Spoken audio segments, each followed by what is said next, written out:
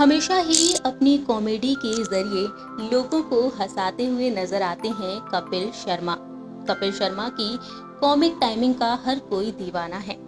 वहीं कपिल शर्मा को लेकर हाल ही में एक बेहद बड़ी खुशखबरी सामने आई है।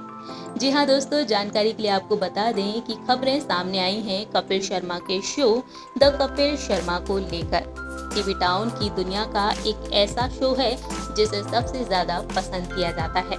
और हमेशा ही दर्शक इस शो का इंतज़ार करते रहते हैं। ऐसे में आपको बता दें कि कोरोना वायरस का कहर, जहाँ एक और दुनिया भर में फैला हुआ है तो वहीं इसी कहर की वजह से ये शो टेलीकास्ट नहीं हो पाया। जी हाँ दोस्तों, जहाँ एक और देश भर में लॉकडाउन जारी हो गया, जिसके चलते टीवी शोज़ की शूटिंग पर रोक लगा दी गई। लेकिन अब फैंस का इंतज़ार खत्म हो चुका है।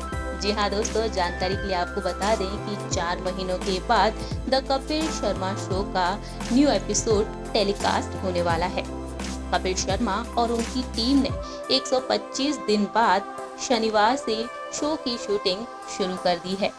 वहीं साथ ही साथ कोरोना वायरस के चलते सेट पर सुरक्षा का भी बहुत अच्छे से ध्यान रखा जा रहा है और इसी के चलते शूटिंग की शुरुआत की गई है। कपिल शर्मा ने हाल ही में अपनी इंस्टाग्राम स्टोरी पर सुमोना चक्रवर्ती और भारती सिंह के वीडियो को शेयर किया। वहीं इस वीडियो में कपिल की आवाज़ भी आ रही है। कपिल ने इस वीडियो को शेयर करते वक्त लिखा है। सभी सावधानियाँ बरतते हुए सुमोना चक्रवर्ती।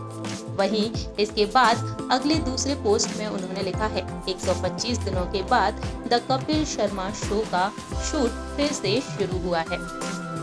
इस तरीके से कपिल शर्मा ने अपने फैंस को ये गुड न्यूज़ दी है। जल्द ही इस शो के न्यू एपिसोड टेलीकास्ट होने वाले हैं। जानकारी के लिए आपको बता दें कि रिपोर्ट्स के मुताबिक सामने आया है कपिल शर्मा शो के नए एपिसोड 1 अगस्त से टेलीकास्ट होंगे।